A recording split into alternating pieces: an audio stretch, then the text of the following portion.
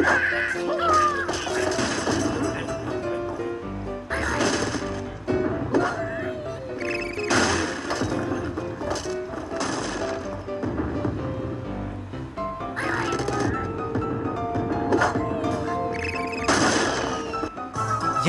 one star.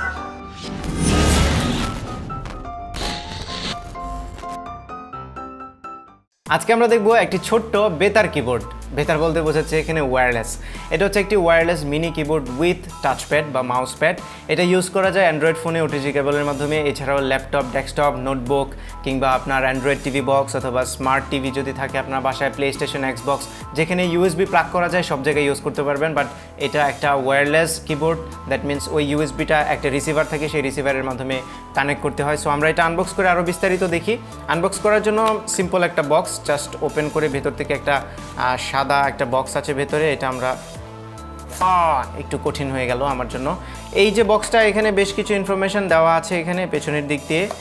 হালকা কিছু information আপনারা দেখে নিতে পারেন, আর কোনো দরকার নেই।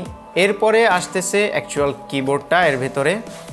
ওকে দ্যাটস ইট এই বক্সের ভেতরে আর কিছু নেই জাস্ট হোয়াইট একটা বক্স প্রথমে আমরা দেখি একটি ইনস্ট্রাকশন ম্যানুয়াল আর নেক্সট হচ্ছে এটার জন্য একটি চার্জার এরপরে হচ্ছে কিবোর্ডটি একটি বাবল সহ যে ব্যাগগুলো আছে, ছোটোবেলায় অনেক বেশি ফুটোতাম, এই ব্যাগ।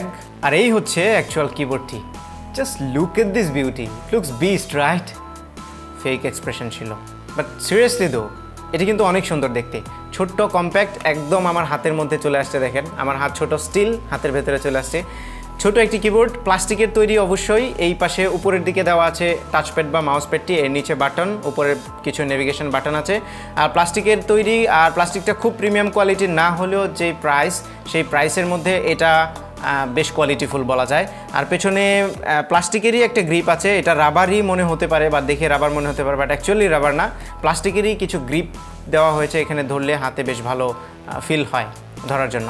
এছাড়াও উপরের উপরের দিকে আছে একটি পাওয়ার অন অফ বাটন আর এই পাশে আছে চার্জিং পোর্ট মাইক্রো ইউএসবি পেছনের দিকে ব্যাটারির হাউস আছে, আমরা যদি এই পাশ থেকে ওপেন করি, তাহলে এখানে দেখতে পারব যে নোকিয়ার পুরনো যে ব্যাটারিগুলো আছে, সেই ধরনের ব্যাটারি এখানে ইউজ করা হয়েছে। ব্যাটারির পাওয়ার হচ্ছে one zero eight zero mAh মানে এক হাজার আশি এমএএইচ ব্যাটারি। আর এর ঠিক পাশেই আছে ইউএসবি রিসিভারটি ছোট্ট একটা ডঙ্গল। এটার মাধ্যমে আমরা এই কিবোর্ডটি কানেক্ট করতে পারি আমাদের ডিভাইসে যে কোনো ডিভাইসে এই হচ্ছে ইউএসবিটি তো এটা আমরা আপাতত বের করে রাখছি, কারণ এখনই আমরা কানেক্ট করব এই কিবোর্ডটি ওকে সো আমরা এই পোর্টটা আবার লাগিয়ে দিচ্ছি।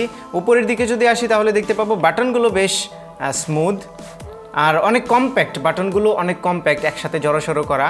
অনেকেই ফিল হতে পারে যে একটাতে প্রেস করলে আরেকটাতে প্রেস লেগে যাবে বাট না। একটু কেয়ারফুলি ইউজ করলে আমি ইউজ করে দেখেছি একটাতে প্রেস করলে আরেকটাতে প্রেস লাগে না। এছাড়াও উপরে মাউস যেই টাচপ্যাডটা আছে মাউসের জন্য, সেখানে বেশ কিছু গ্যাসচার দেওয়া আছে, এখানে দেখতে পাচ্ছেন। এছাড়া একটা কিবোর্ডে নর্মালি যেই যেই কিবোর্ডের বাটনগুলো থাকে সেগুলোই আছে। এছাড়াও এটা আমরা একটু অন করি এখন আপাতত, উপর থেকে। আমরা যদিও কোনো ডিভাইস কানেক্ট করিনি স্টিল ওকে সো এরপরে এর বেক লাইটগুলো আপনাদেরকে দেখাই।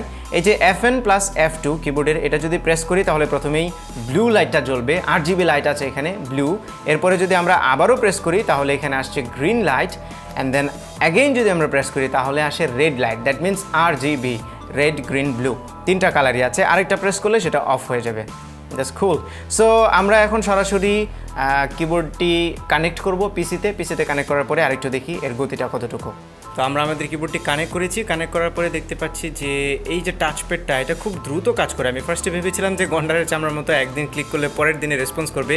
বাট না, এটা বেশ ভালো কাজ করে। এবং স্ক্রিনের যে ব্যাকলিটটা আছে, এটা আমরা দেখতে পাচ্ছি কিছুক্ষণ যদি আমি চাপাচাপি না করি আই মিন ইনেকটিভ থাকে কিছুক্ষণ, তাহলে সেটা অফ হয়ে যায় এবং কিছুক্ষণ পরে যে অফ হয়ে গেল। আমরা যখন আবার প্রেস করব, তখন অটোমেটিক্যালি সেটা আবার জ্বলে ওঠে। সেখানে বেশ কিছু শর্টকাট বাটন আপনারা দেখতে পাচ্ছেন। প্রথমে এখানে ভলিউম আপ ডাউন আছে। ভলিউম কম বেশি করার জন্য অথবা মিডিয়া নেক্সট আই মিন গান যদি আপনি প্রিভিয়াস অথবা নেক্সট প্লে করতে চান, পজ আছে। এখানে সরাসরি মিডিয়া একটা আইকন আছে। এটাতে যদি ক্লিক করেন, তাহলে আপনার ডিফল্ট যে মিউজিক প্লেয়ারটা আছে, সেটা কম্পিউটারে ওপেন হয়ে যাবে। এছাড়াও এভাবে এখানে অনেকগুলো শর্টকাট বাটন আছে, যেমন ইমেইলের আছে, মিউট করা যায়, সাউন্ড। এরপরে এখানে ইন্টারনেট এক্সপ্লোরারের একটা আইকন দেওয়া আছে। আই মিন এখানে আপনার ব্রাউজার ওপেন করতে পারবেন। যে ব্রাউজারটা আপনার ডিফল্ট, এরপরে হোম পেজে যেতে চান, ডেস্কটপে সার্চে ক্লিক করলে উইন্ডোজ টেনের কটানা ওপেন হয়। এছাড়াও এই পাশে নেভিগেশন কিগুলো দেওয়া আছে, মাঝখানে একটা ওকে বাটন আছে, যেটা এন্টারের মতোই কাজ করে। এছাড়া বাকি যে বাটনগুলো আছে, সব অন্যান্য বাটনের মতোই। আমরা যদি লাইটটা চেঞ্জ করি এলইডি লাইটটা মানে ব্যাকলিটটা যদি চেঞ্জ করতে চান, তাহলে কিবোর্ডের F N plus F two কিবোর্ডের চাপলেই হয়, তিনটা লাইট এই যে, জ্বলছে। ওকে দ্যাটস গ্রেট সো এই কিবোর্ডটা আসলে খুবই দ্রুত কাজ করছে। আমি এতটা এক্সপেক্ট করিনি যে এটা লেটেন্সি যেটা টাচ লেটেন্সি এই লেটেন্সিটা খুব বেশি একটা না। আমি ফার্স্টে ভেবেছিলাম ওয়্যারলেস যেহেতু এটা একটুখানি লেট হতে পারে বাট না ইট ইজ কোয়াইট ফাস্ট আমরা একটু টাইপ করে দেখি। টাইপ রেসপন্সও অনেক ভালো আমরা দেখতে পাচ্ছি যে খুব দ্রুতই রেসপন্স করছে ক্লিক করার সাথে সাথে।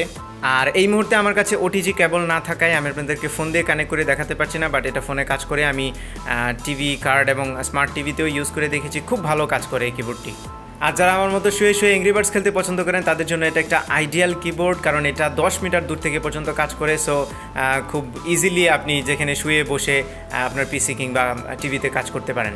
আর এই অসাম মিনি কিবোর্ডের দাম হচ্ছে মাত্র এক হাজার টাকা, তবে বিডি শপ থেকে যদি আমার কুপন ইউজ করে কিনেন, তাহলে আপনারা পাবেন দুশো টাকা ডিসকাউন্ট কুপন কোডটি হচ্ছে Sohag three sixty KB video ডিসক্রিপশনে কুপনটি দেওয়া আছে এবং সেখানে লিঙ্কটিও দেওয়া আছে, সেখান থেকে আপনারা এই প্রোডাক্টটি চাইলেই কিনতে পারেন। সো এই ছিল ভিডিও আশা করি ভিডিওটি আপনাদের ভালো লেগেছে। যদি ভালো লেগে থাকে, তাহলে ভিডিওতে একটা লাইক দেবেন কমেন্ট করে জানাবেন কেমন লাগল। আপনার ফ্রেন্ডদের সাথে শেয়ার করতে ভুলবেন না, আমার চ্যানেলে সাবস্ক্রাইব তো অবশ্যই। দেখা হবে পরবর্তী ভিডিওতে চিলদেন ঠিক ছাড়া